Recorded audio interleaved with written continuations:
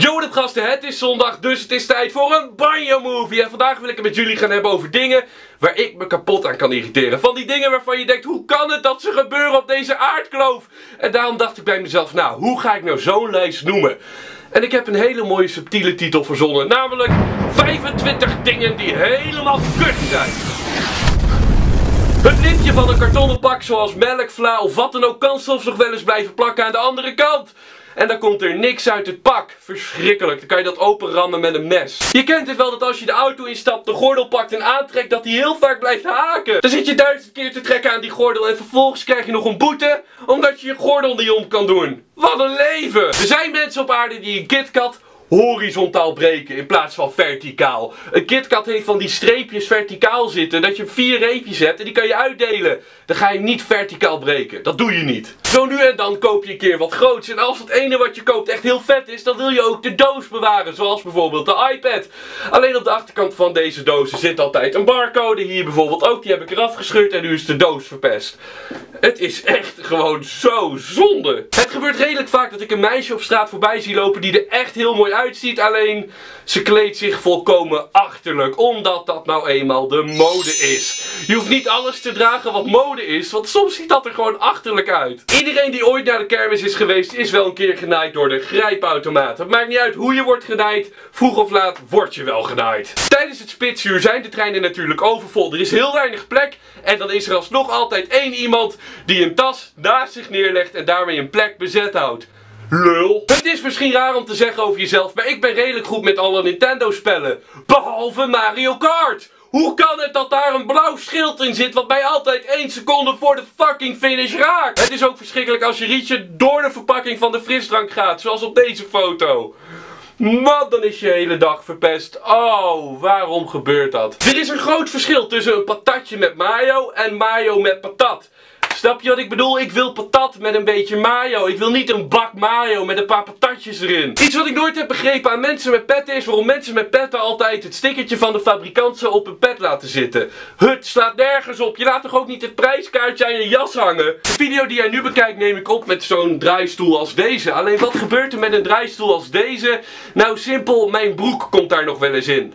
En dat is gewoon verschrikkelijk irritant dat mijn broek in de drolstoel komt. In de drolstoel? Wat? Een pasfoto voor je ID-kaart, paspoort of rijbewijs is ook een verschrikkelijke hel. Want je moet nagaan, je mag niet lachen, je mag niks ruis doen. Je oren moeten zichtbaar zijn, je betaalt er zelf voor. En daarna is het nog maar een keer de vraag of de gemeente die foto wel accepteert. Want als ze niet accepteren, dan mag jij terug ernaartoe en opnieuw betalen voor een pasfoto. Klapdeurtjes zijn ook verschrikkelijk irritant. Ze zitten namelijk op een bepaalde hoogte van het mannelijk geslachtsdeel. En als dat deurtje terugklapt, ja, dan komt het op een hele gevoelige plek waar je niet wil dat hij komt kan ik uit ervaring vertellen van afgelopen week. Ah. Dit klinkt misschien heel erg stom, maar ik ben altijd heel voorzichtig met papier. Want ik heb een hekel aan die papiersneetjes op je vinger. Oh, die jeuken zo ongelooflijk. Helemaal kut. Echt helemaal kut. Het is ook helemaal kut als mensen een zin beginnen en die zin niet af. Het is ook helemaal kut als je samen bent met twee mensen die samen in hun eigen taal gaan praten die jij niet kan verstaan. Want dat betekent dat ze het overal over kunnen hebben. Misschien schelden ze jou nu wel uit in hun eigen taal. Maar dat heb je dan niet door. Ik stond van de week in de supermarkt bij de kassa en ik was even niet aan het opletten. Dus ik had niet dat balkje neergelegd. En één iemand achter mij, die ging zuchten. Zo van... Je kan ook gewoon aan mij vragen of ik dat balkje neer wil leggen in plaats van duivels achter mij stiekem gaan zuchten. Dat is zo irritant. Het is ook helemaal kut als ik op de trein sta te wachten. Die komt aan, mensen gaan de trein uit. En voordat de mensen de trein uit zijn, gaan mensen al de trein in. Hoezo? Wacht gewoon. Als je in de stad aan het winkelen bent, is er niks irritanters dan mensen die voor jou lopen en plotseling boem! stoppen met lopen. Dan knal je tegen hun rug aan en mag jij sorry zeggen tegen hun. Of het trouwens ook irritant is met mensen in de stad, is wel als ze voor je lopen. Alleen dan heel, heel, heel langzaam. Zo langzaam. Oh, het is verschrikkelijk. Een van de lekkerste dingen op deze aarde om te eten is wel de KFC. Alleen er is één reden dat ik dat niet vaak eet en dat is wel de dag erna. Want de dag erna, dan staat letterlijk je, je kont gewoon in de fik van de KFC.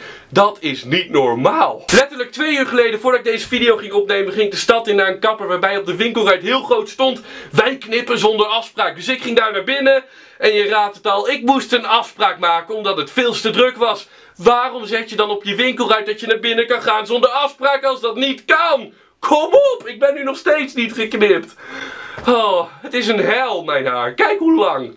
Dat mensen er niet tegen kunnen als je scheldt met kanker of grappen maakt over kanker, oké, dat begrijp ik. Ik snap dat dat voor sommige mensen moeilijk is. Alleen ebola.